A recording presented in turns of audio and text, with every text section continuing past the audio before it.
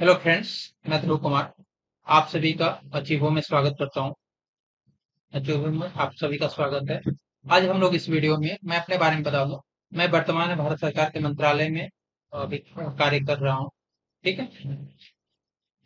आज हम लोग इस वीडियो में मध्यकालीन इतिहास का बारे में कंप्लीट स्टडी करेंगे। इसमें जो सारे टॉपिक्स हैं, जहाँ से आपके एग्ज़ाम्स में क्वेश्चन डायरेक्टली पूछा जा रहा है। तो जैसे कि बात करें मुस्लिम आक्रमण के बारे में तो यहाँ पे अरब आक्रमण जो था अरब आक्रमण मोहम्मद गजनवी मोहम्मद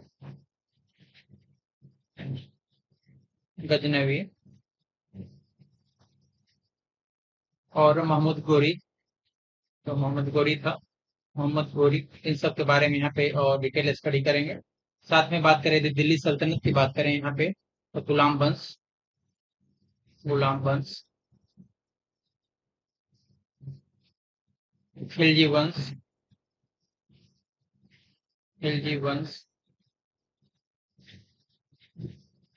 तुगलक वंश तुगलक वंश और लोधी वंश के बारे में डिटेल में स्टडी करेंगे जहाँ से तो लगातार क्वेश्चन पूछा जा रहा है। यदि बात करें तो विजयनगर साम्राज्य के, के बारे में डिटेल में स्टडी करेंगे। मुगल वंश में बाबर हुमायूं अकबर और शाहजहां जहांगीर औरंगज़ेब इन सब के बारे में डिटेल में देखेंगे। यहाँ पे शेरशाह सूरी के बारे में देखेंगे और मराठा साम्राज्य के बारे में डिटेल में स्टडी करेंगे, जो आपके एग्ज़ाम्स के लिए काफ़ी यूजफुल रहेगा। सो स्टार्ट करते हैं हम लोग। मुस्लिम आक्रमण से यहाँ पे। तो बात करें हम लोग फ़र्स्ट के अरब आक्रमण से। जब मुस्लिम आक्रमण की बात करते हैं तो अरब आक्रमण से स्टार्ट करते हैं। अरब आक्रमण जो हुआ था तो अरब आक्रमण की यहाँ पे बात करें तो मोहम्मद बिन कासिम के नेतृत्व में फ़र्स्ट टाइम जो आक्रमण भारत पर हुआ था, वो उस समय लीडर कौन था? मोहम्मद बिन कासिम था। तो मोहम्मद बिन कासिम के टाइम पे मतलब उसके नेतृत्व में ही फ़र्स्ट टाइम भारत पे अरबों ने आक्रमण किया था, मोहम्मद बिन कासिम। ठीक है? यदि अरब आक्रमण की बात करें तो मोहम्मद बिन कासिम के नेतृत्व में भारत पर पहली बार आक्रमण किया गया था और अरबों ने आक्रमण कहाँ पे किया था? ये फ़र्स्ट टाइम किया था सिंध को। वहाँ पे? सिंध पे। सिंध पे आक्रमण किया था और उनका पेड़ कब था? तो सात सौ बारह। ईस्वी में सिंध पे अरबों, मोहम्मद बिन कासिम के नेतृत्व में अरबों ने आक्रमण किया था। और उस समय जो सिंध का शासक कौन था? सिंध का शासक का नाम था दाविद। उसका शासक का नाम क्या था? ठीक है? बात करें इनका तो उद्देश्य क्या था? अरबों ने जब भारत में आक्रमण किया तो कुछ कोई ने, किसी ने किसी उद्देश्य से किया होगा? तो उनका रीजन क्या था इसमें? कि मूल रूप से यहाँ पे वो दौलत को लूटना चाहते थे। धन दौलत को लूटना चाहते थे। ठीक है? धन दौलत को लूटना। और यहाँ पर दूसरा उद्देश्य था उनका कि इस्लाम धर्म का, भारत में इस्लाम धर्म का प्रचार प्रसार करना इस्लाम धर्म का प्रचार। प्रसार कर ठीक है? तो ये बेसिकली इनके दो उद्देश्य थे। ठीक है? यदि हम बात करें यहाँ पे, अरब आक्रमण के बाद बात करें, मोहम्मद गजनवी की। मोहम्मद गजनी मोहम्मद गजनी की बात करें यहाँ पे तो मोहम्मद गजनी से की बात होने पहले बात किया जाए कि उसका जो कहाँ से बेसिकली बिलोंग करता था तो एक साम्राज्य था गजनी साम्राज्य। इसकी स्थापना किसने किया था? इसकी स्थापना जो था अलप्तगिन ने किया था। अलप अलप्तगिन के द्वारा किया गया था। और कब किया गया था? नौ सौ बत्तीस। और इसकी राजधानी कहाँ बनाई गई तो इसकी राजधानी थी जो गजनी साम्राज्य थे, उसकी राजधानी कहाँ पे बनाई गजनी में बनाई ठीक है? तो गजनी साम्राज्य का स्थापना किसने किया था? अलप्तगिन ने किया था। कब किया था? नौ सौ बत्तीस ईस्वी में किया था। और इसको अपनी राजधानी कहाँ पे बनाए? गजनी में ही, राजधानी में। यदि बात करें यहाँ में यहाँ पे महमूद गजनी के बारे में तो जो महमूद गजनी था, वो सत्ताईस वर्ष की उम्र में सत्ताईस वर्ष की उम्र में नौ सौ अंठानवे, नौ सौ अंठानवे ईस्वी में गजनी साम्राज्य की गद्दी पर क्या हुआ था बैठा था। ठीक है? इसने भारत पर सत्रह बार आक्रमण किया था। सत्रह बार आक्रमण किया था। भारत पर कितनी बार आक्रमण किया था? सत्रह बार इसने आक्रमण किया था भारत पर। और इसका किस रीजन से आक्रमण किया? बेसिकली वही धन दौलत की लूटी लोग करते थे यहाँ पर। धन, दौलत, लूटी। धन, दौलत को ठीक है? यदि हम बात करें यहाँ पे मोहम्मद गोरी के बारे में मोहम्मद गोरी के बारे में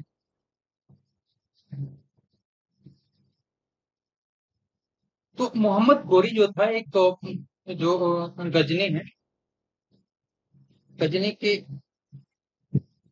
अधीन एक छोटा सा राज्य था गौर, गजनी साम्राज्य के अंदर में, एक छोटा सा राज्य था गौर, वहाँ का वो क्या था? शासक था। गौर राज्य का क्या था? शासक था। मोहम्मद ठीक है?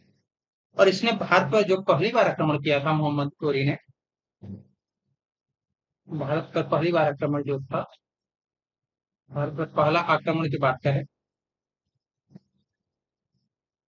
आक्रमण। वो ग्यारह सौ पचहत्तर ईस्वी में किया, ग्यारह सौ पचहत्तर ईस्वी में किया। और कहाँ पे किया था? तो मुल्तान मुल्तान के विरोध किया। मुल्तान के विरोध किया। ठीक है? यदि हम इसके दूसरे आक्रमण की बात करें, भारत के दूसरा आक्रमण जो किया था इसने, जो दूसरा आक्रमण किया था वो पाटन गुजरात पे किया था। कहाँ पे पाटन। गुजरात। पाटन गुजरात पे किया था और कभी किया था आक्रमण? ग्यारह सौ अठहत्तर में। ग्यारह सौ पचहत्तर में किया था। कहाँ पे? मुल्तान में।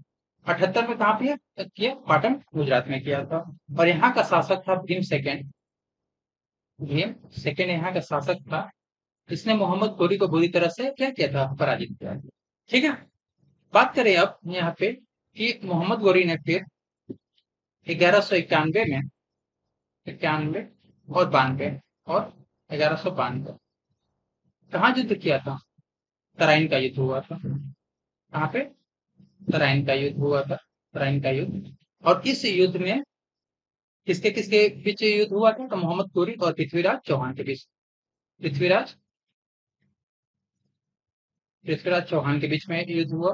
फ़र्स्ट वाले में ग्यारह सौ इक्यानवे वाले में पृथ्वीराज चौहान ने मोहम्मद गोरी को हरा दिया था, लेकिन ग्यारह सौ बानवे में मोहम्मद गोरी ने पृथ्वीराज को चौहान को हरा दिया। ठीक है?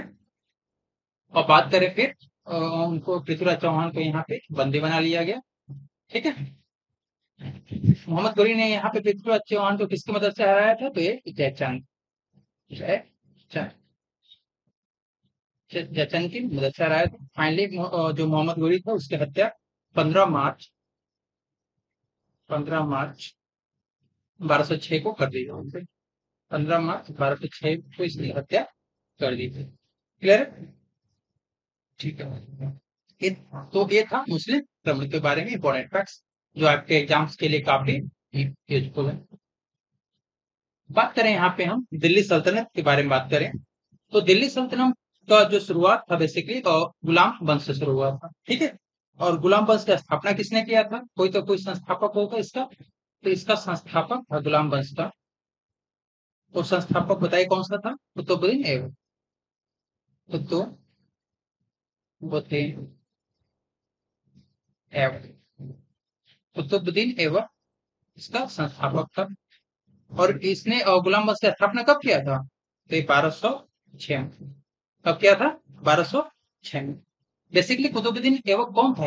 तो ये मोहम्मद गौरी का गुलाम। मोहम्मद गौरी का का गुलाम। ठीक है? क्लियर है? मोहम्मद गौरी के मृत्यु के बाद यहाँ पे जो भारत में साम्राज्य किसका स्थापित किया? कुतुबुद्दीन ऐबक ने किया और किस किया? तो गुलाम वंश के नाम से उसने स्टार्ट किया था। ठीक है? बात करें यहाँ पे तो इसने अपनी राजधानी कहाँ बनाया? कुतुबुद्दीन ऐबक ने अपनी राजधानी लाहौर को बनाया। किसको बनाया? लाहौर को अपनी राजधानी बनाया। क्लियर है? बात करें यहाँ पे तो कुतुबुद्दीन ऐबक का ही एक सेनापति था, ठीक है? और सहायक सेनापति कह सकते उसका नाम क्या था? बख्तियार खिलजी बख्तियार। बख्तियार खिलजी ठीक है? खिलजी बख्तियार खिलजी ने ही जो हमारा बिहार में नालंदा विश्वविद्यालय था, नालंदा विश्वविद्यालय, ठीक है? विश्वविद्यालय, उसको इसने ध्वस्त कर दिया तो बर्बाद कर लिया था। क्लियर है? तो ये भी क्वेश्चन पूछा जाता है कि नालंदा विश्वविद्यालय को किसने बर्बाद किया था? तो बख्तियार खिलजी ने किया ठीक है? और एक क्या था? कुतुबुद्दीन ऐबक का सहायक सेना। क्लियर बात करें यहाँ पे कुतुबुद्दीन ऐबक की मृत्यु के बारे में। तो कुतुबुद्दीन ऐबक की जो मृत्यु थी, वो 1210 में 1210 में कुतुबुद्दीन ऐबक की और डेथ हो गया उनका और किस मतलब वो घोड़े से चौगान खेल रहा था तो घोड़े से गिर करके उसका डेथ हो गया। चौगान खेलते समय घोड़े से गिर करके उसका डेथ हो गया। क्लियर है? इसको दफनाया कहाँ गया था? तो मृत्यु होने के बाद इसको दफनाया गया था लाहौर। लाहौर में इसको क्या किया गया? है ठीक। यदि बात करें तो इसी गुलाम वंश में एक शासक था, महान शासक था, इल्तुतमिश। इल्तुतमिश। इल्तुतमिश था। ये क्या था बेसिकली ये तुर्कमेनिस्तान का इलवरी तुर्क क्या था? इलवरी ये भी पूछा जाता है कि क्या था? इलवरी इलवरी तुर्क ठीक है? ये जो इल्तुतमिश था, वो एवक का कुतुबुद्दीन एवक का, क्या था? गुलाम और उसका दामाद। और कुतुबुद्दीन एवक का दामाद भी गुलाम भी था और उसका क्या भी था? दामाद भी था। ठीक है? तो जब वो इल्तुतमिश जैसे मृत्यु जब एवक की मृत्यु हुई तो उस समय जो इल्तुतमिश था, वो कहाँ का गवर्नर था? वो बदायूं का गवर्नर था बदायूं का गवर्नर क्लियर है? गवर्नर इल्तुतमिश ने बेसिकली क्या किया कि जो इसकी राजधानी थी लाहौर, दिल ठीक है? राजधानी जो लाहौर थी, राजधानी, उस समय एवक के समय में कुतुबुद्दीन एवक के समय जो राजधानी लाहौर थी लाहौर, उसको कहाँ लेकर आया? दिल्ली लेकर आया। लाहौर से लेकर आया, दिल्ली। क्लियर है? लाहौर से राजधानी को लेकर के कहा आया? दिल्ली आया। फिर इसकी जो मृत्यु हो गई, फिर बारह में इसकी मृत्यु हो गई। बारह में इसकी क्या हो गई? थी इसकी क्लियर है? ठीक। बात करें इसी में गुलाम वंश में एक और महान मतलब महिला शासक थी। उसका नाम था रजिया बेगम। रजिया बेगम। रजिया बेगम थी।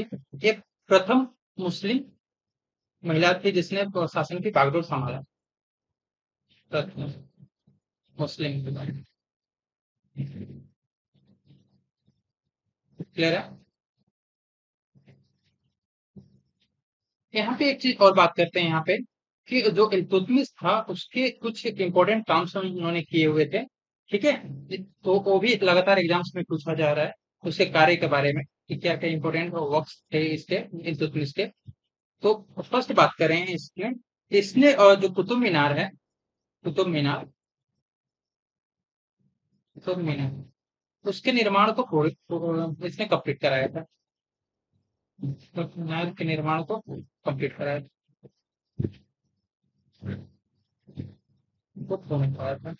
ठीक है? सेकंड बात करें यहाँ पे हम। इसने सबसे पहले शुद्ध अरबी सिक्के जारी किए थे। शुद्ध अरबी सिक्के जारी।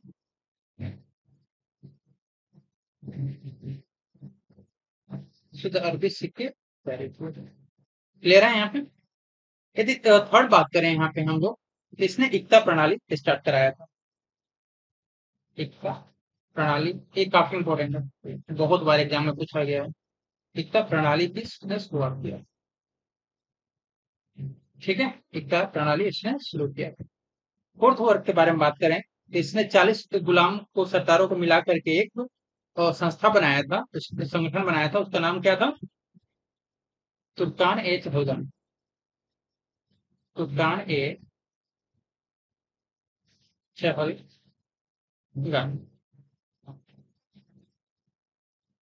या चहलगान ठीक है? ये चालीस जो गुलाम सरदार थे, उनको मिला करके एक सिंहासन बनाया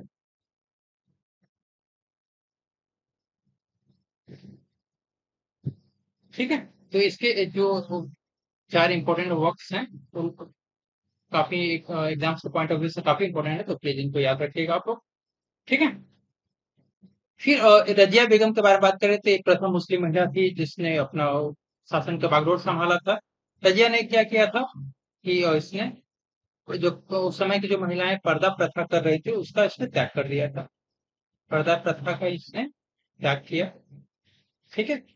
और जो उस समय जो पुरुष थे, वो अपना क्या करते? पुरुषों की तरह या चोगा। और एवं कुल्ला। मतलब चोगा काबा कहा जाता है? काबा। ठीक है? और कुल्ला मतलब टोपी। कुल्ला मतलब टोपी। पहन करके पहन करके क्या दरबार में जाने लगे ठीक है? यदि बात करें तो इसकी जो शादी हुई थी, वो अल्तुनिया से हुई थी। दुनिया से शादी किया था इसने। दुनिया से शादी किया था इसके इसकी शादी हुई थी?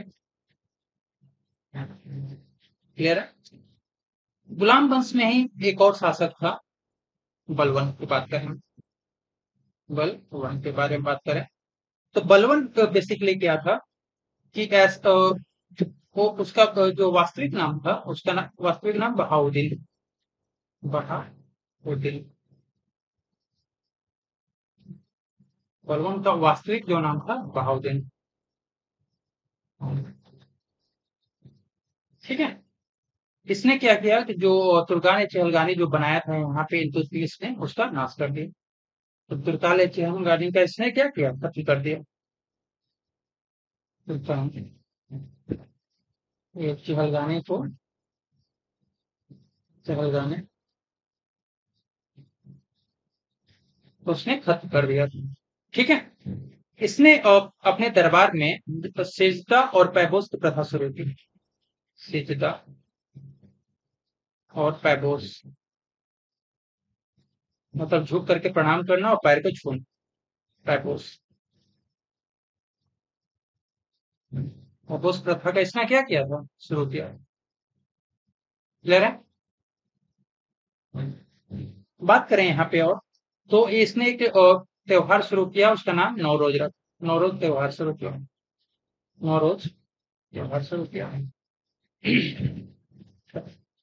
नवरोज त्योहार शुरू किया, जो बेसिकली किस पे था? फारसी रीति रिवाज पे आधारित। फारसी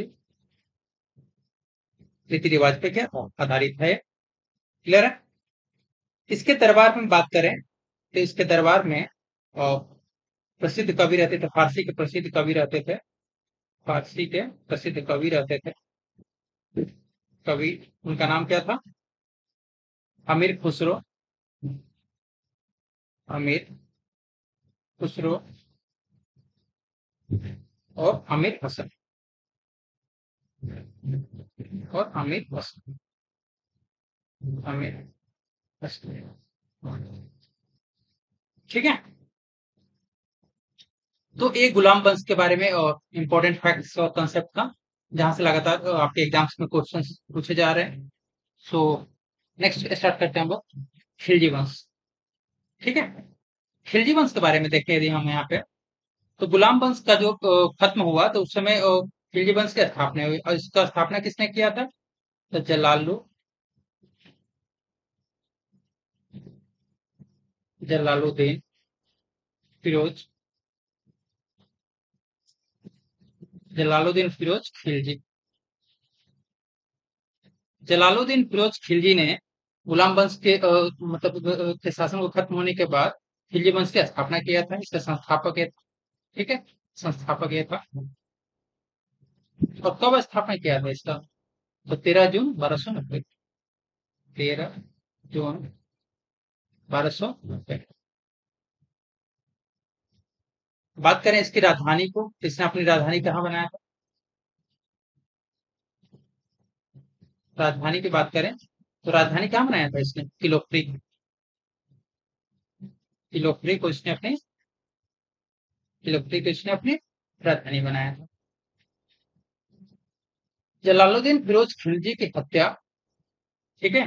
उसके भतीजा और दामाद था। इसकी जो हत्या है, उसका भतीजा।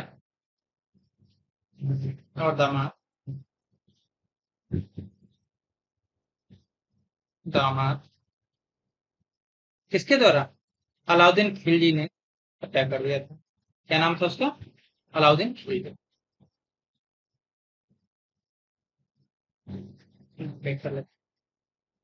अलाउद्दीन खिलजी ने उसकी हत्या कर दी। ठीक है? और कहाँ पे हत्या कर दिया था? कि हत्या हो किया था इसने इलाहाबाद। उस समय उसको कड़ा मानिकपुर कहा जाएगा कड़ा मानिकपुर। कड़ा मानिक इलाहाबाद।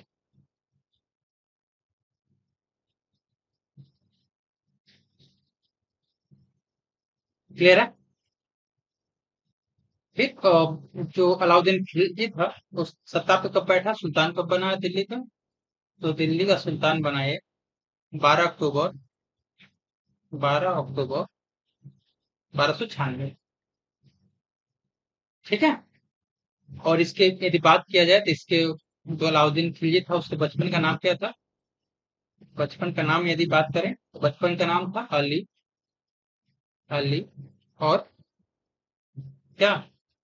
गुर गुर क्लियर है?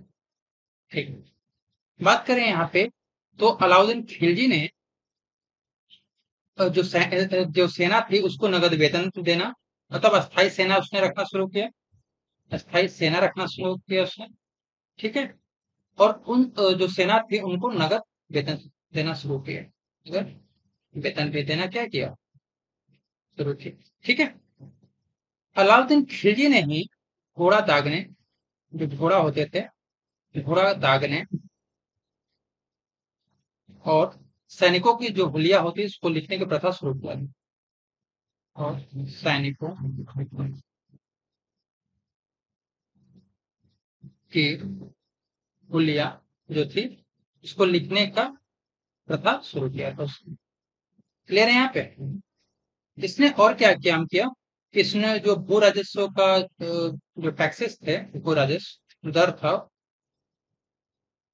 भू राजस्व जो दर था, उसको पहले कितना लिया जाता था? हाफ़ लिया जाता था, उसको बढ़ा करके किस मतलब पहले जो वन फोर्थ लिया जाता था या वन थर्ड लिया जाता था, उसको बढ़ा करके बेसिकली इसने हाफ़ कर दिया था। ठीक है? आगे बात करें हम लोग। तो इसने बेसिकली अलाउद्दीन खिलजी ने एक आ, मतलब मार्केट को कंट्रोल करने के लिए उस समय जो था उसने एक प्रणाली शुरू किया। उसका क्या था? मूल्य नियंत्रण। मूल्य नियंत्रण प्रणाली। ठीक है? मूल्य नियंत्रण प्रणाली में क्या था कि जो व्यापारी यदि मान लो कोई सामान लेने गए और व्यापारी ने बेमानी करके कम तोल दिया। तो उस समय क्या करता था? उस व्यापारी से उतना मांस तो उसके शरीर से उतना मांस काट, लेने का देते था। इससे उसका जो मार्केट जो था, काफ़ी कंट्रोल करता था। ठीक है? एक व्यापार कंट्रोल करने के लिए बेसिकली था। ठीक है? बात करें हम कि उसने एक था, उसके मलिक काफूर को उसने, मलिक काफूर मलिक काफूर को उसने दक्षिण भारत के विजय के लिए उसने भेजा था। दक्षिण भारत के विजय के लिए उसने विजय के लिए उसने भेजा ठीक है? बात करें यहाँ पे और अलाउद्दीन खिलजी के बारे में। तो अलाउद्दीन खिलजी ने यहाँ पे दैवी अधिकार के सिद्धांत को भी चलाया था। क्या? दैवी अधिकार के सिद्धांत को इसने चलाया। इस सिद्धांत को भी इसने क्या है यहाँ पे चलाया? क्लियर है? और खुद को उसने सिकंदर ईसानी का उपाधि दे दिया था। क्या उपाधि दिया था? सिकंदर ए सानी का उपाधि दे दिया ठीक है? बात करें यहाँ पे तो अलाउद्दीन खिलजी की जो मृत्यु हुई थी, जो मृत्यु की बात करें इसकी तो पाँच जनवरी तेरह सौ सोलह को, पाँच जनवरी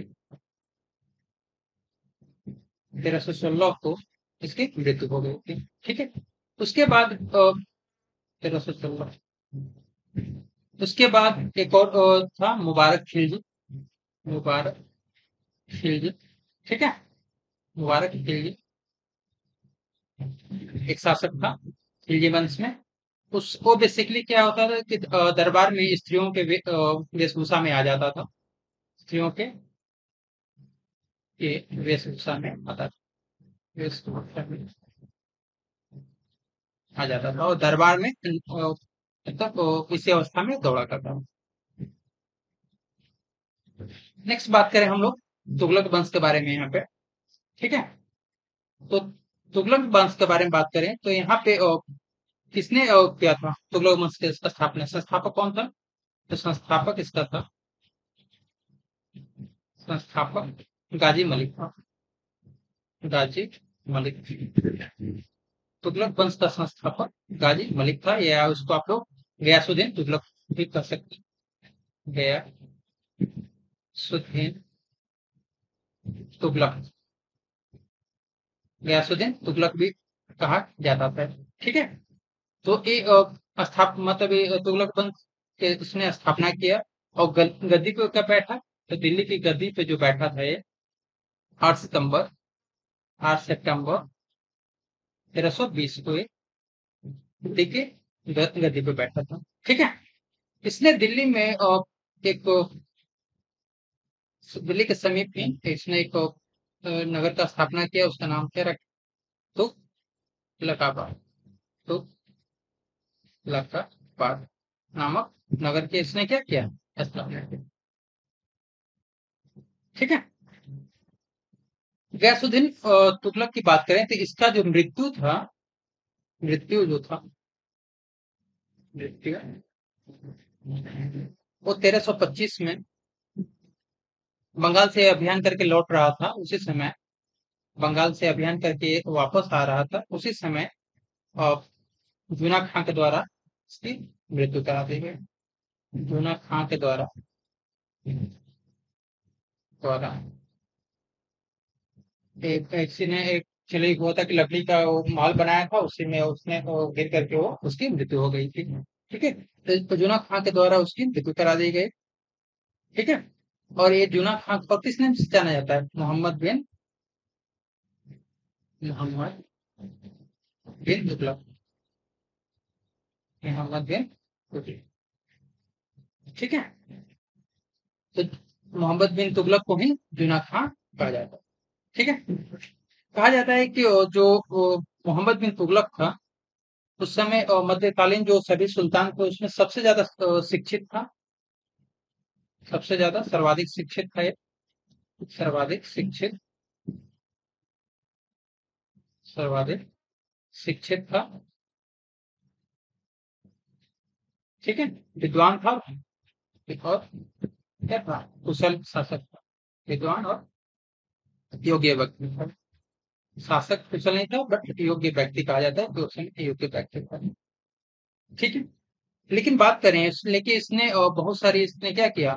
इसकी बहुत सारी जो योजनाएँ रही, काफ़ी फेल्योर रहा उन योजनाओं में। ठीक है? जैसे कि इसने क्या किया था? कि राजधानी परिवर्तन की बात करें इसने तो अपनी राजधानी को इसने दिल्ली से देवगिरी लेकर गया। देव गिरी लेकर आ गए देवगिरी को ही दौलताबाद कहा जाता है। क्या उसको दौलताबाद का है दौलताबाद। ये भी इसकी योजना फेल्योर रही। दूसरा इसने क्या किया था? इसने सांकेतिक मुद्रा का प्रचलन किया था। सांकेतिक मुद्रा चलाया था। सांकेतिक मुद्रा चलाया था। ठीक है? ये भी इसकी योजना फेल्योर रही। इसी के दरबार में एक मुरक्कुस आया हुआ यात्री था, अफ्रीकी यात्री अफ्रीकी यात्री। इबन तूता। क्या नाम था उसका? Ibn Battuta. मोरक्को कहाँ का था? मोरक्को का ठीक है? इसने मोहम्मद बिन तुगलक ने इसको दिल्ली का काजी बनाया और राजदूत बना करके चीन भेज दिया।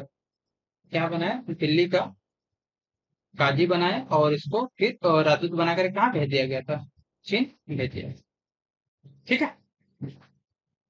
बात करें यहाँ पे हम लोग कि मोहम्मद बिन तुगलक की मृत्यु के बाद यहाँ का जो प्रशासक बना वो कौन बना फिरोज शाह तुगलक कौन बना? फिरोज शाह तुगलक ठीक है? फिरोज शाह तुगलक शासक बना उसने बेसिकली क्या किया? इसका जो राजाभिषेक हुआ था, वो ठट्टा के निकट हुआ था। ठट्टा के निकट तो कब हुआ था? बीस मार्च। बीस मार्च। तेरह सौ इक्यावन ठीक है? फिर इसने क्या किया बेसिकली कि अपने जो पहले से जो टैक्सेस आ रहे थे तो उसने जो चौबीस कष्टकारक करों को समाप्त किया था। कष्टकारक जो टैक्सेस थे करों को उसने क्या किया था? समाप्त किया था। ठीक है? इनके बदले में उसने सिर्फ़ चार कर चलाए। चार कर चलाए। चार उपकर कर कौन से थे? हराज हराज फुल्स फुल्स जजिया और जकात जजिया और जकात खराज जो था, वो क्या था? जो लगान लगता था, लगान।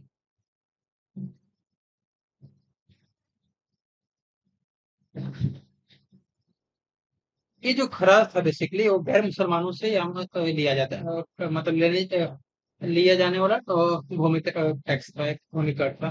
एक गैर मुसलमानों से वसूला जाता था। गैर मुसलमान। ठीक है? एक गैर मुसलमानों से लिया जाने वाला भूमि कर भूमि यदि हम उसकी बात करें ये जो युद्ध में जो धन दौलत लूटते थे उस उसको बात कर रहे हैं। पे उसको तो खुश कहा जाता था, युद्ध में लूट का माल क्लियर है? ठीक है। बात करें यहाँ पे जजिया के बारे में। जजिया के बारे में। तो एक गैर मुसलमानों पर जो धार्मिक टैक्स लगाया जाता था, उसकी तरफ़। उसको जजिया कहा जाता था। गैर मुसलमानों। गैर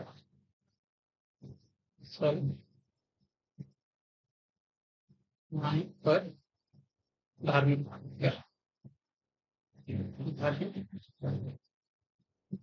क्लियर है यदि जक़ात की बात करें हम लोग यहाँ पे तो जो मुसलमानों से जो धार्मिक कर लिया जाता था, उसे जक़ात कहा जाता था।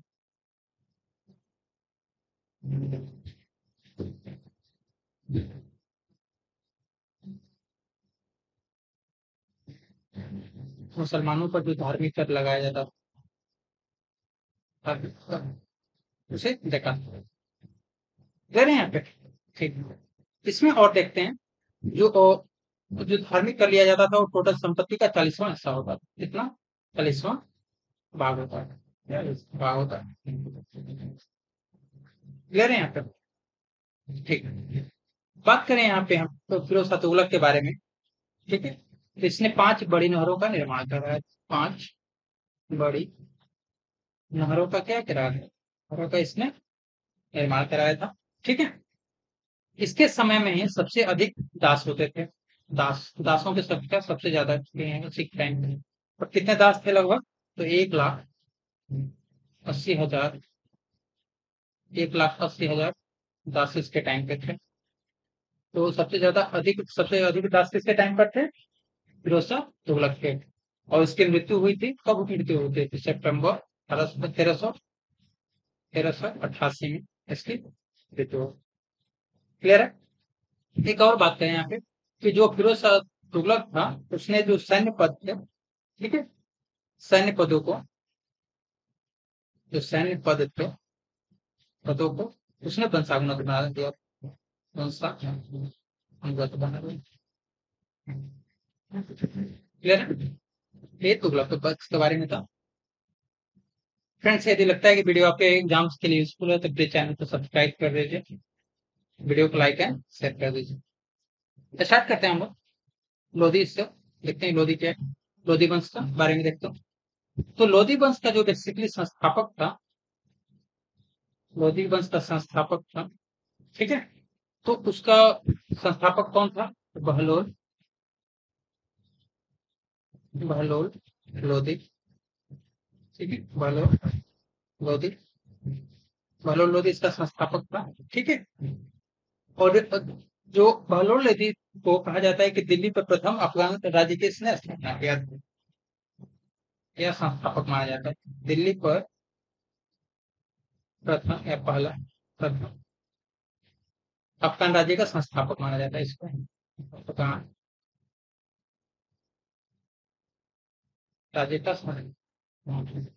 संस्थापक ठीक है?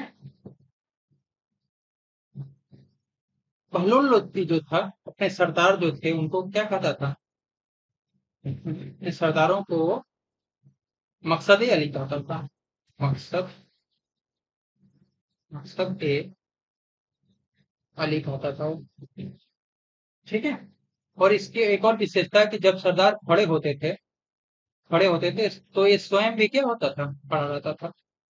स्वयं भी कुछ भी खड़ा रहता था। क्लियर है लोधी वंश में एक और शासक था, उसका नाम है सिकंदर लोधी। सिकंदर लोधी। ठीक है, सिकंदर लोधी। इसने आगरा शहर की स्थापना किया था। कौन सा शहर की स्थापना किया था? आगरा। की स्थापना किया ठीक है? और आगरा का स्थापना कब किया था इसने? तो 1504 में। 1504 में आगरा ईस्वी में आगरा की स्थापना किया था। ठीक है? इसी ने एक सिकंदर लोधी ने भूमि के माप के लिए एक शुरू किया था, गजे सिकंदरी। गजे सिकंदरी का इसने क्या किया था? प्रचलन स्टार्ट किया था, एक बेसिकली किसके तो भूमि मापन के लिए इसका यूज़ हुआ था। भूमि को मापने के लिए इसका यूज़ करा ठीक है? जो सिकंदर लोधी था।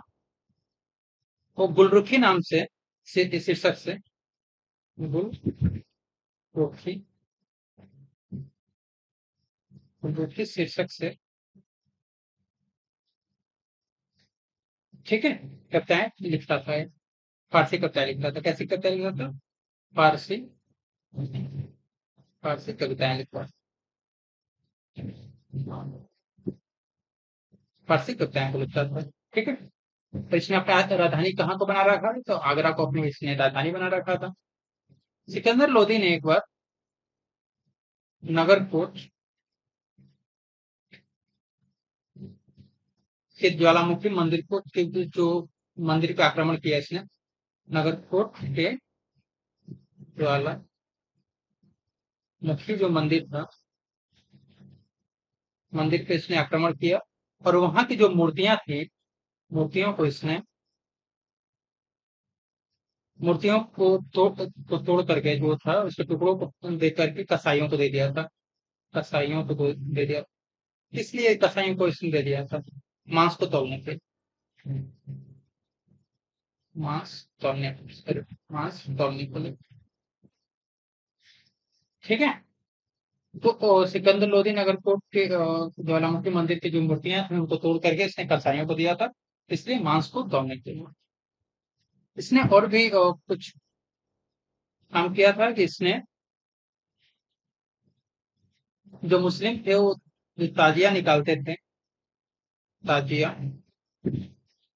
ताजिया निकालने पे इसने प्रतिबंध लगा दिया था, और जो मुस्लिम स्त्रियाँ थी, स्त्रियों को इसने पीरों और संत संतों के मजार पे जाने पे इसने क्या प्रतिबंध कर लगा दिया था?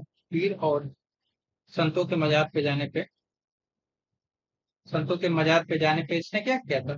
प्रतिबंध लगा दिया था तू नहीं जाएँगे। क्लियर है? बात करें सल्तन और प्रशासन के बारे में।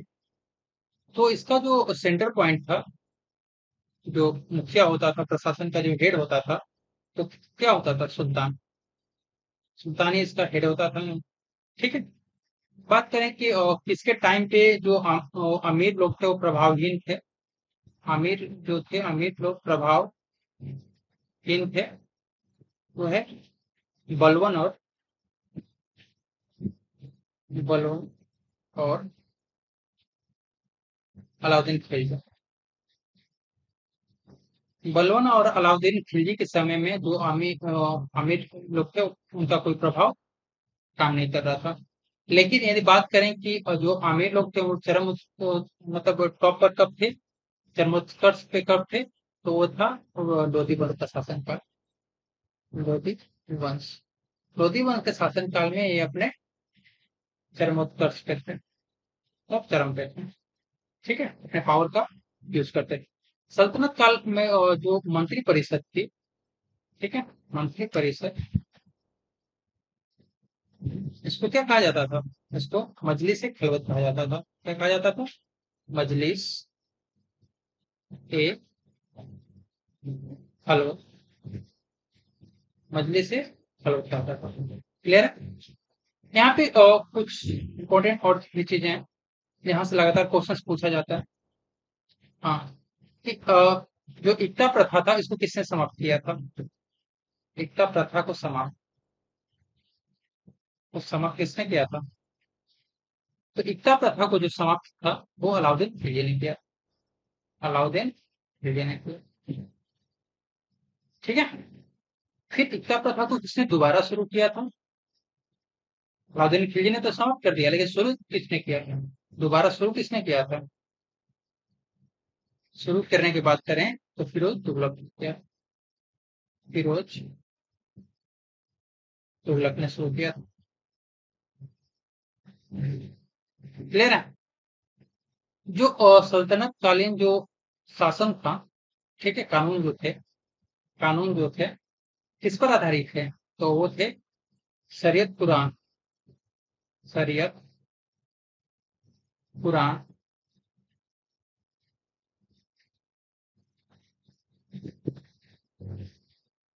और हदीस पर आधारित और हदीस पर आधारित है, उस समय का कानून क्लियर है।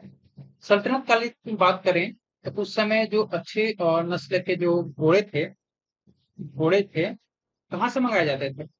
तो घोड़ों को तुर्क तो तुर्की और अरब और रूस से मंगाया जाता है अरब और रूस से मंगाया जाता है और जो हाथी की बात करें तो जो हाथी थी तो कहाँ से मंगाए जाते थे? बंगाल से मंगाए जाते ठीक है? बात करें कि उस समय सल्तनत काल में कुछ विभाग की स्थापना की गई थी। तो यहाँ पे देखते हैं कि कुछ विभाग हैं। ठीक है? वो विभाग किससे संबंधित थे? संबंधित थे। और किसके शासन में उन विभागों की स्थापना किया गया था? तो उस समय उसका सुल्तान कौन था? उस समय का सुल्तान कौन था? ऐसा कौन है। ठीक है? यदि बात करें यहाँ पे तो दीवान है मुस्तखराज। दीवान, ए, मुस्तखराज। मुस्तखराज। ठीक है? दीवान मुस्तखराज, जो विभाग था बेसिकली वित्त विभाग था। मतलब फाइनेंस विभाग था। और किसके समय में था? अलाउद्दीन खिलजी।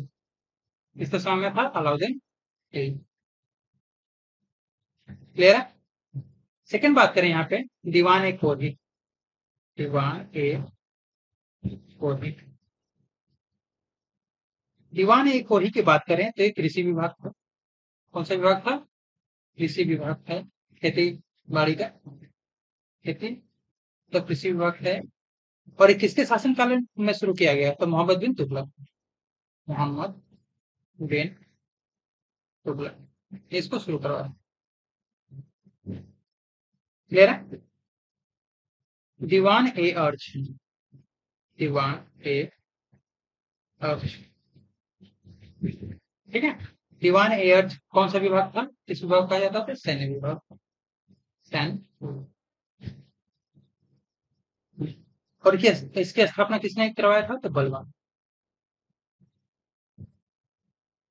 क्लियर है? बात करें हम लोग यहाँ पे। दीवान ए बंदगान।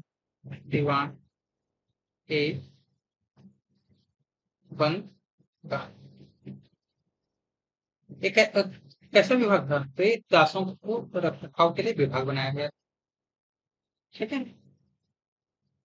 दीवाने बंदगान दास विभाग के लिए किससे किससे समय सबसे ज़्यादा दास थे?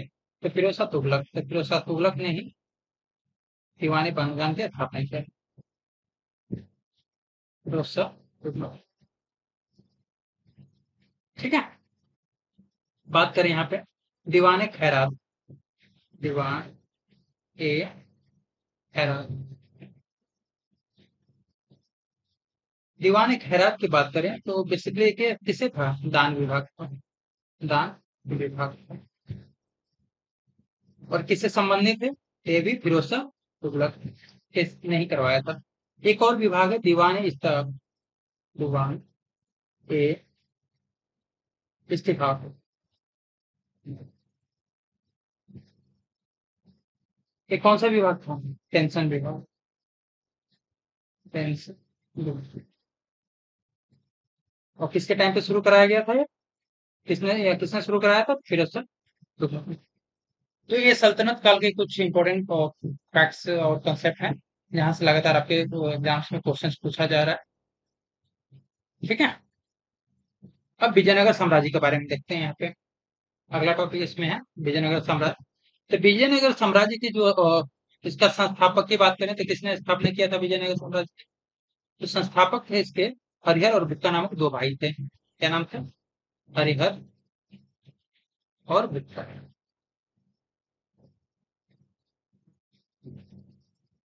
हरिहर और भुक्का नाम के दो भाई थे। उन्होंने कब विजयनगर साम्राज्य का स्थापना किया था? तो तेरह सौ छत्तीस में। तेरह सौ छत्तीस में स्थापना किया था। अब विजयनगर का अर्थ क्या होता है? इसका अर्थ होता है जीत का शहर क्या होता है? अर्थ इसका?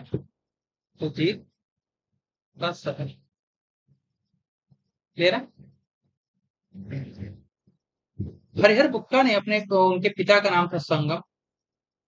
हरिहर बुक्का के पिता का नाम क्या था? संगम। उन्होंने इन अपने पिता के नाम पर ही एक तो राजवंश शुरू किया। उसका नाम क्या था? संगम। राजवंश की उसने स्थापना किया। संगम। राजवंश। इन्होंने क्या किया था? स्थापना किया। ठीक है? और विजयनगर साम्राज्य की राजधानी कहाँ पे बनाई गई? उसके जो राजधानी थी राजधानी थी वो कहाँ पे थी, बताइए? हम्पी में हम्पी को इसने नहीं, राजधानी बनाया। ठीक है? विजयनगर साम्राज्य में ही एक शासक थे, देवराय प्रथम। देव, राय प्रथम। इन्हीं के शासन काल में उसको इटली का यात्री था, उसका नाम था Niccolo Conti Niccolo. Niccolo Conti Conti तो निकोलो कॉन्टी था, इटली सॉरी इटली से आया हुआ था। इटली का क्या था यात्री? ठीक है। बात करें यहाँ पे तो विजयनगर साम्राज्य में और जो संगम वंश का सबसे प्रतापी राजा था वो देवराय, द्वितीय था। देवराय, द्वितीय। देवराय द्वितीय था ठीक है? और इसको और क्या किस नाम से जाना जाता है? इसको इमाड़ी देव देवराय। इमाड़ी देवराय के नाम से भी इनको क्या किया जाता है ठीक है? और एक तो यात्री था फारस का उसका नाम था अब्दुल रजाक अब्दुल रज्जाक। अब्दुल रजाक था। ये कहाँ का फारस का फारसी यात्री था। तो अब्दुल रजाक जो तो था, वो देवराज द्वितीय के दरबार में आया हुआ ठीक है? बात करें यहाँ पे एक एक अभिलेख में देवराज द्वितीय को क्या कहा गया है? एक अभिलेख में, अभिलेख के अनुसार देवराज द्वितीय को क्या कहा गया जग बेटकर कहा गया है। जग बेट कर, क्या कहा गया? जग बेटकर कहा गया। इसका मतलब होता है हाथियों का शिकार। क्या होता है? हाथियों का शिकार। ठीक है? बात करें यहाँ पे विजयनगर साम्राज्य के पतन के बारे में यहाँ पे।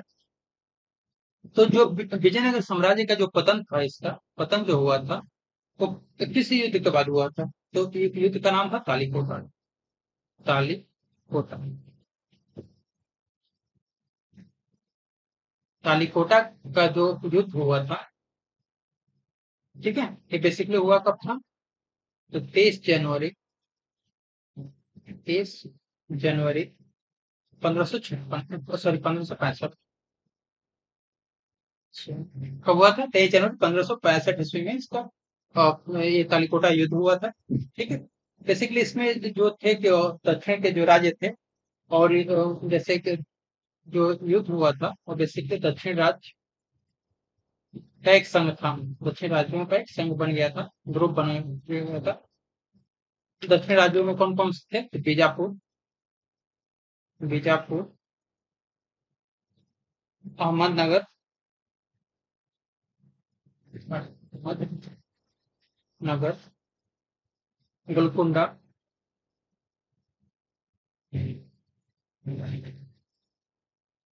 गोलकुंडा और बीदर और बीदर ये जो चार राज्य थे उन्होंने अपना एक ग्रुप बना करके इस पे विजयनगर पे आक्रमण कर दिया था ठीक है? और इसका जो नेतृत्व तो कौन कर रहा था? इनका, इनका नेता कौन था? तो अली आदिल शाह था। कौन था? अली आदिल अली आदिल शाह ठीक है? अली आदिल शाह इसका नेता था। है? और यहाँ पे विजयनगर से एक नेतृत्व कौन कर रहा था? तो विजयनगर का नेतृत्व जो कर रहे थे, उनका नाम क्या था बताइए? विजयनगर की बात करें। तो उनका नाम था राम राय। राम इस युद्ध में कालीकोटा के युद्ध में और विजयनगर की बुरी तरह पराजय हुई थी और उसके बाद ही विजयनगर साम्राज्य क्या हो गया? तो ठीक है। नेक्स्ट है, मुगल वंश के बारे में देखते हैं यहाँ। मुगल वंश के बारे में देखते हैं। ठीक है तो मुगल वंश का बेसिकली संस्थापक के कौन था उसके? तो मुगल वंश के बारे में यदि देखें तो जो संस्थापक की बात करें तो बाबर उसका संस्थापक था। ठीक है, संस्थापक की बात करें। तो बाबर को मुगल वंश का क्या माना जाता है? संस्थापक माना जाता है। ठीक है? तो एक ऐसा मुस्लिम था हेतुर तो एवं सुन्नी मुसलमान था सुन्नी मुसलमान बेसिकली इसका जो टाइम पीरियड है, कब से कब तक है? 1526 से लेकर के। 1530 का इसका टाइम पीरियड बात करें तो इनके बाबर के तो बाबर के पिता का नाम क्या था? बाबर के पिता का नाम था उमर से उमर शेख उमर शेख मिर्ज़ा। बाबर के पिता का नाम क्या था? उमर से मिर्ज़ा, जो एक परगना, जो राज्य है, उसके, वो क्या थे? शासक थे परगना। ठीक है। बात करें यहाँ पे तो बाबर के चार पुत्र थे। चार पुत्र थे। उनका नाम क्या क्या था? हुमायूं। हुमायूं। कामरान। अस्करी। अस्करी और चौथा हिंदा ठीक है? बाबर ने भारत पर कितने बार आक्रमण किया था? तो भारत पर बाबर ने पाँच बार आक्रमण किया। पाँच बार आक्रमण किया लेकिन बाबर ने जो पानीपत का युद्ध था, वो उसके लिए निर्णायक था। पानीपत का जो युद्ध था। इसमें फ़र्स्ट टाइम बाबर ने एक युद्ध नीति का प्रयोग किया, उसका नाम था उगलामा युद्ध नीति। उगलामा नीति का उसने प्रयोग किया और यहीं पर उसने तो खाने का भी प्रयोग किया। तो खाने का भी तो खाने का का भी इसने प्रयोग ठीक है? इसी युद्ध में उसके दो प्रसिद्ध निशानेबाज थे। निशानेबाज उनका भी इसने यूज़ किया। उसका नाम क्या था? उस्ताद अली। उस्ताद अली और मुस्तफ़ा। और मुस्तफ़ा। ठीक है? तो ये सारी रीजन्स के वजह से बाबर यहाँ पे काफ़ी मतलब हद तक विजय रहा है यहाँ पे। ठीक है? बाबर को जो था, उसकी उदारता के लिए क्या कहा जाता था? कलंदर कहा कलंदर को उपाधि उसने धारण किया। कलंदर को उपाधि धारण ठीक है? इसलिए उसकी उदारता के लिए उसको कलंदर की उपाधि दिया हुआ। ठीक? बात करें यहाँ पे तो बाबर की जो मृत्यु थी, मृत्यु आगरा में हुई थी। कब हुआ था? छब्बीस दिसंबर, पंद्रह सौ तीस लेकिन बाद में उसको काबुल ले जाकर के दफनाया गया। आगरा से कहा ले जाया गया? काबुल। काबुल में उसने एक जगह को चुना था, वहाँ पर उसको क्या किया गया? पहले दफनाया मेरा हुमायूं के बारे में देखें। तो बाबर का पुत्र हुमायूं था। तो हुमायूं को जो बेसिकली था, ठीक है, वो आगरा की गद्दी पे बैठा। आगरा। कब तो कितने वर्ष के उनके तेईस वर्ष के उम्र बैठा। कब बैठा? तो उनतीस दिसंबर उनतीस दिसंबर तो पंद्रह सौ तीस। उनतीस दिसंबर, पंद्रह सौ तीस को ईस्वी में उसने वो गदी पर बैठ, ठीक है? और उससे पहले हुमायूं कहाँ का शासक था? ये बद खस बद, खसा का सूबेदार था। बद, खसा का क्या था सूबेदार। गद्दी पे बैठने से, ठीक है?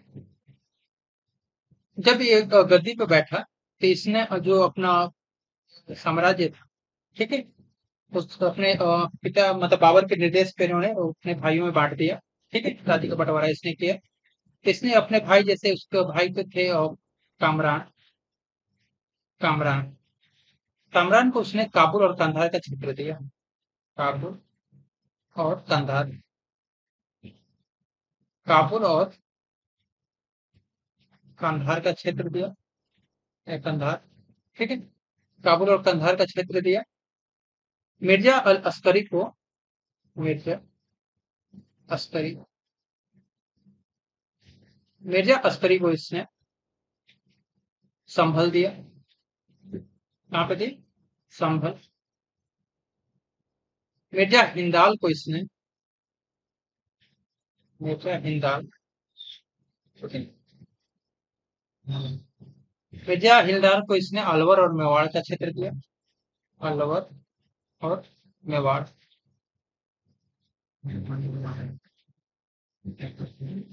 ठीक है? और उसके अपना चचेरा भाई जो था, सुलेमान मिर्ज़ा। सुलेमान मिर्ज़ा। ठीक है? सुलेमान मिर्ज़ा इसका चचेरा भाई था। चचेरा भाई जो था, उसको हुमायूं ने बदखसा का क्या बनाया? प्रदेश दे दिया सूर्य वही। बदखसा तो खुद वहाँ का क्या था? सुविधार था। ठीक है? बात करें यहाँ पे तो हुमायूं ने एक नए नगर का निर्माण कराया, स्थापना किया। उस नगर का नाम क्या था? दिल पना और इसका स्थापना कब कराया? पंद्रह सौ तैतीस। पंद्रह सौ तैतीस में दिनपना नगर का उसने क्या किया? स्थापना कराया था। दे रहे बात करें यहाँ पे कि बिलग्राम और कनौज के युद्ध बिलग्राम और कनौज का युद्ध हुआ। एक युद्ध कब हुआ? तो सत्रह मई, पंद्रह सौ चालीस में। और ये युद्ध किसके किसके बीच लड़ा गया? तो शेर खान शेर खान और? हुमायूं के बीच लड़ा। और किसके बीच युद्ध लड़ा गया? हुमायूं।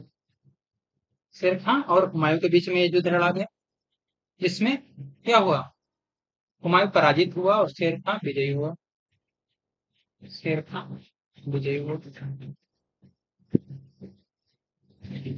ठीक है? इसके बाद शेर शाह ने शेर खां को शेर शाह कहा जाता है। इसने दिल्ली, आगरा और दिल्ली पर क्या कर लिया?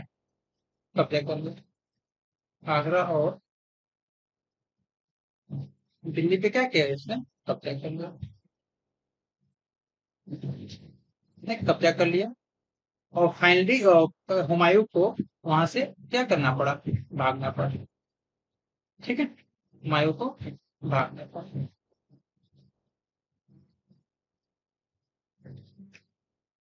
बात करें यहाँ पे शेरशाह सूरी के बारे में। ठीक है? तो शेरशाह सूरी क्या? अफगान वंशीय कौन से वंश का था। अफगान वंशीय था।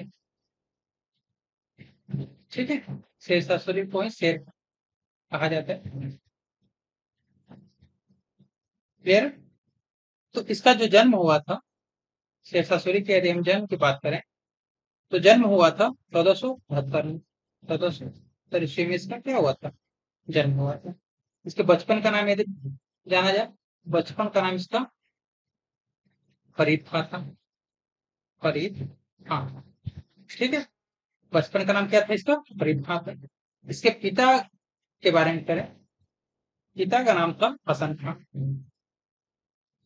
हसन खान। ठीक है? जो जौनपुर राज्य के क्या थे? जमींदार जौनपुर। जौनपुर राज्य में एक सासाराम जगह है। सासाराम के क्या थे? जमींदार जमींदार फरीद को को शेर खान का नाम कैसे पड़ा?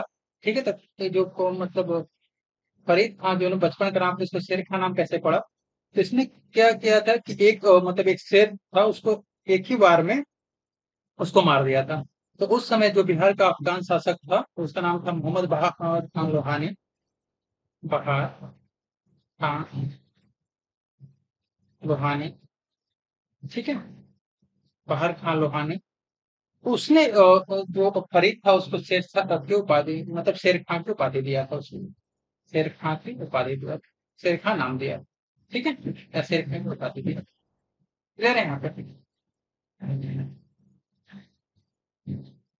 बात करें तो शेर खां की जो मृत्यु जो हुई थी, शेर शाह की जो मृत्यु हुई थी, वो कालिंजर के किला को पता करने के चक्कर में हो गया था। कालिंजर के किला को जीतने के चक्कर में हो गया। ठीक है? ऐसे भी तो, तो हुआ क्या था कि वहाँ पे वो एक उपका नामक अग्नेश अग्नेस्त्र चला रहा था जिसके फटने के कारण उसकी मृत्यु हो गई थी। ठीक है? और उस समय कलिंजर का शासक कौन था? उस समय उसके शासक का नाम था किरत सिंह। किरत बात करें शेख सासुरी का मकबरा का मकबरा कहाँ पे बनाया गया? सासाराम। सासाराम। यहाँ पे बिहार में। ठीक है? सासाराम में मकबरा बनाया गया। शेर शाह ने कुछ इंपॉर्टेंट वर्क्स भी किए थे। जैसे इसने काबुलियत काबुलियत काबुलियत और पट्टा प्रथा शुरू किया। पट्टा प्रथा शुरू किया। ठीक है? इसने और पंद्रह इकतालीस में पाटलिपुत्र जो है पाटलिपुत्र का नाम पटना रखा था। से नाम बदल कर क्या रख दिया था? पटना रख दिया। इसने जो जीटी रोड रोड है grand trunk road GT road grand trunk road ठीक है, उसका मरम्मत कराया था इस- क्या कराया था? मरम्मत कराया इसने डाक प्रथा शुरू किया था। कौन सा प्रथा? डाक। प्रथा का शुरुआत किसने किया था? शुरू ठीक है। और इसी के समय में एक कवि थे, उनका नाम है मलिक मोहम्मद जैसे मलिक मोहम्मद जैसे इसी के क्या थे? समकालीन। ठीक है। इसी के समकालीन तो फ्रेंड्स ये लग रहा है कि ये था तो शेरशाह सूरी से रिलेटेड फैक्ट्स और कॉन्सेप्ट जहाँ से क्वेश्चंस पूछे जाते हैं आपके एग्ज़ाम में। तो यदि लग रहा है कि वीडियो आपके लिए यूजफुल है तो प्लीज़ चैनल को सब्सक्राइब कर दीजिए। नेक्स्ट स्टार्ट करते हैं हम अकबर। अकबर के बारे में देखते हैं कि अकबर से क्या क्या योगदान रहा है। तो जो अकबर का जो शासन काल है वो पंद्रह सौ पंद्रह सोलह सौ पाँच पंद्रह सौ सोलह सौ पाँच का टाइम रहा है ठीक है इसके यदि हम जन्म की बात करें जन्म की बात करें तो अकबर का जन्म जो हुआ था पंद्रह अक्टूबर पंद्रह सौ बयालीस को हुआ था पंद्रह अक्टूबर पंद्रह सौ बयालीस को हुआ था। और इस अ, माता का नाम क्या था? माता का जो नाम था माता का नाम था? अमिता बानो बेगम क्या नाम था? अमिता बानो। बेगम और ये जन्म कहाँ पे हुआ था? ये जन्म हुआ था अमरकोट के अमरकोट के राजा थे ये राजा थे। उनका नाम था राणा वीर साल वीर साल के महल में हुआ ठीक है? है अकबर के बचपन का नाम यदि पूछा जाए तो इसके बचपन अकबर के बचपन का नाम?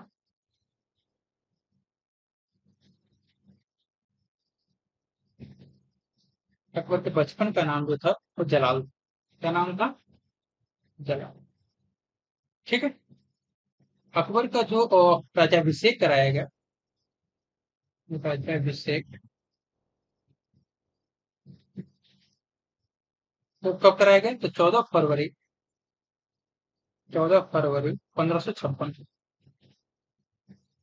कहाँ पे कराया गया? तो ये जो राज्याभिषेक हुआ था, कलानौर स्थान है, कलानौर। ये कहाँ पे कलानौर? देखो, पंजाब। पंजाब के कलानौर नामक स्थल पे इसका क्या गया था? राज- राज्याभिषेक कराया गया था। यदि बात करें अकबर के शिक्षक की तो अकबर के जो शिक्षक थे, टीचर थे, उनका नाम क्या था? अब्दुल लतीफ। अब्दुल लतीफ। ठीक है, वो ईरानी विद्वान है ईरानी विद्वान। ठीक है, और यदि बात किया जाए तो अकबर का संरक्षक का काम किसने किया? था तो बैरम खान बैरम खान ने अकबर के संरक्षक का काम किया। ठीक है? इसने अकबर ने दीन इलाही, दीन ए इलाही धर्म चलाया था?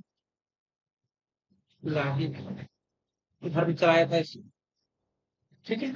और इस धर्म को स्वीकार करने वाला प्रथम और अंतिम हिंदू कौन थे? प्रथम और अंतिम हिंदू थे राजा बीरबल राजा बीरबल प्रथम और अंतिम हिंदू थे। और तो किर- बीरबल किनका नाम पड़ा था। इनका जो रियल नाम था, उनका, इनका रियल नाम था महेश दास। महेश। तो क्या था ब्राह्मण? क्लियर फिर यदि अकबर के बारे में बात करें तो इसने जब भी तो जब भी प्रणाली से रुपया जब प्रणाली से रुपया था, ये किससे रिलेटेड था? ये राजस्व प्राप्ति से रिलेटेड था टैक्सेस राजस्व प्राप्ति से।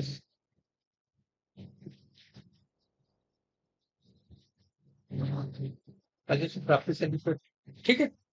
इसी के समय में एक और बंदोबस्त शुरू किया गया था, उसका नाम था दहसाला दहसाला बंदोबस्त।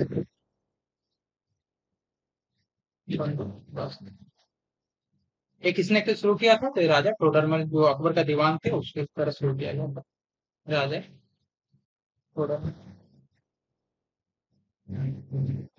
टोडरमल के द्वारा। ये अकबर क्या थे दीवान? ठीक है। अकबर के समय में और क्या थे? और प्रसिद्ध संगीतकार थे। उनका नाम क्या था? तानसेन बाज बहादुर। संगीतकार की बात करें हम यहीं पे। संगीतकार। संगीतकार की बात करें तो तानसेन हो गए। बाज बहादुर हो गए। बाज बहादुर। और बताइए, बाबा रामदास रामदास और बैजू बावरा। और बैजू बाबरा ठीक है? अकबर के यदि बात करें तो अकबर के जो शासन प्रणाली थे, शासन प्रणाली शासन प्रणाली, ठीक है? तो उसकी जो आधार क्या था? आधार था उसका मनसबदारी प्रथा। क्या था? मनसबदारी। प्रथा। मनसबदारी प्रथा, उसके शासन का क्या था आधार था ठीक है? तो एक कुछ इंपोर्टेंट जो कॉन्सेप्ट और फैक्ट्स है अकबर के बारे में यहाँ से लगातार क्वेश्चंस पूछा जाता है। बात करें हम यहाँ पे अब नेक्स्ट जहांगीर के बारे में। तो अकबर का उत्तराधिकारी किसको बनाया गया? सलीम। सलीम किसका नाम था? जहांगीर। ठीक है? तो अकबर का जो उत्तराधिकारी बना, सलीम, और इसको किस नाम से गद्दी पे बैठा था तो इसका नाम था मोहम्मद जहांगीर बादशाही गाजी और ये कब गद्दी पे बैठा था? चौबीस अक्टूबर चौबीस अक्टूबर सोलह सौ पाँच को ये गद्दी पे बैठा। क्लियर है? यदि बात करें यहाँ पे, इसके जन्म के बारे में तो जहांगीर का जो जन्म हुआ था, वो कब हुआ था? तीस अगस्त तीस अगस्त में रहा और अकबर ने जो नाम रखा था सलीम का अपने खुद सलीम का नाम जो रखा था, किसके आधार पर किया? अकबर ने जो सलीम जो नाम रखा था, उस समय के एक सूफी संत थे, उनका नाम था शेख सलीम चिश्ती। शेख सलीम शेख सलीम चिश्ती। के नाम पर ही जहांगीर का नाम अकबर ने सलीम कर क्लियर है बात करें यहाँ पे हम कि अकबर का एक पुत्र था, ठीक है? खुसरो। सॉरी जहांगीर का पुत्र था खुसरो। खुसरो ने सोलह सौ पाँच में सॉरी सोलह सौ पाँच छह में उसने अपने मतलब जहांगीर के खिलाफ उसने क्या किया? वो विद्रोह शुरू कर दिया। और इस विद्रोह को सहायता किसने किया था? इस विद्रोह में सहायता किया किया था अर्जुन देव ने। अर्जुन देव ने। अर्जुन देव ने इस विद्रोह में सहायता किया था दूसरों की। ठीक है? और ये क्या था? सिखों के पांचवे गुरु सिखों के के, कौन से नंबर के गुरु थे? पांचवे गुरु थे। पांचवे गुरु थे। तो अर्जुन देव ने जब खुसरो की सहायता किया तो इसके इससे गुस्सा होकर के जहांगीर ने अर्जुन देव को क्या करवा दिया? फांसी दिलवा दिया फांसी की सजा दिलवा दी। ठीक है? यहाँ पे बात करें जहांगीर का। तो जहांगीर ने एक अपना शाही दीवान शाही दीवान किसे बनाया? गियास बेगम को बनाया। किसको बनाया? गियास बेग जो था, गियास बेग, उसको अपना शाही दीवान बनाया। और इसने इसको उपाधि दिया। इस कौन सी उपाधि दिया इसको उपाधि दिया इतमाद उदौला का इतमाद इतमाद दौला का उनको क्या दिया? उपाधि। दिया कहा जाता है कि, और जो जहांगीर का जो शासन काल रहा है, वो चित्रकला का स्वर्ण काल कहा जाता है। इसको चित्रकला का चित्रकला का स्वर्ण काल कहा जाता है। चित्रकला का क्या कहा जाता है? स्वर्ण काल कहा जाता है। इसके दरबार में जो प्रमुख चित्रकार की बात करें, चित्रकला का स्वर्ण का मतलब स्वर्ण काल रहा है तो जो प्रमुख चित्रकार रहे हो, उनका नाम था आगा राजे। आगा रजा। अबुल हसन। अबुल हसन। मोहम्मद नासिर। मोहम्मद नासिर। ठीक है? उस्ताद मंसूर।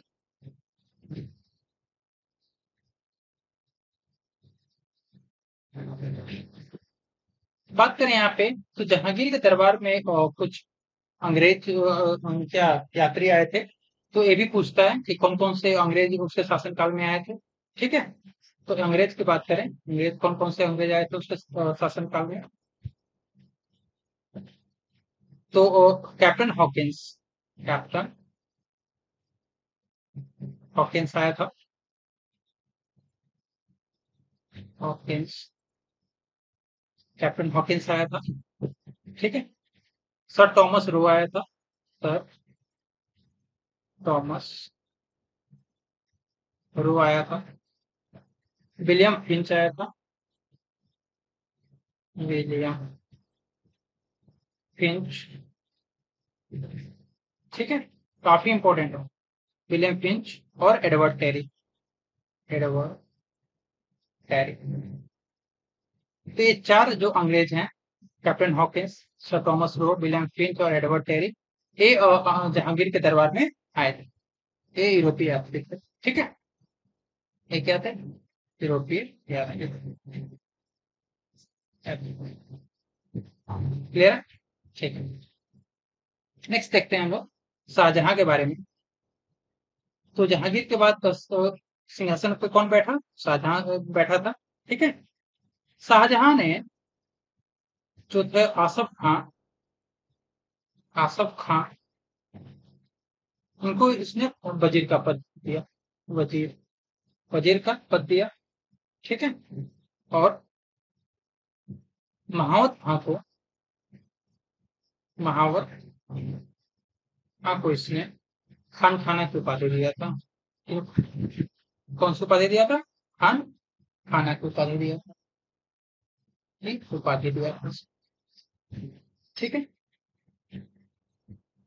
इसने जो नूर जहाँ थी, नूर जहाँ नूर जहाँ नूर जहाँ को इसने भेज दिया था? लाहौर भेज दो नूर जहाँ को इसने लाहौर भेज दिया था। और प्रति वर्ष उनको दो लाख रुपया तो दो लाख प्रति वर्ष उनको पेंशन देता था। प्रति वर्ष उनको क्या करता था? पेंशन देता था। शाहजहां ने अपने जो की बेगम थी, मुमताज़ मुमताज़ महल मुमताज़ महल, उसकी बेगम थी, ठीक है, बेगम थी। उसकी याद में इसने क्या किया? ताजमहल का निर्माण कराया। ताज महल का निर्माण कराया। और ये ताजमहल कहाँ पे बनवाया आगरा में। आगरा में वहाँ पे निर्माण कराया। ठीक है? और ये जो ताजमहल का जो निर्माण करने में जो मुख्य स्थापित मतलब जिसने किया, स्थापत्य कलाकार जो था, उसका नाम क्या था? उसका नाम था उस्ताद उस्ताद अहमद लाहौर अहमद लाहौर। उस्ताद अहमद लाहौरी था। ये क्या था? मुख्य मुख्य स्थापत्य कलाकार था किस चीज़ का? आगरा के ताजमहल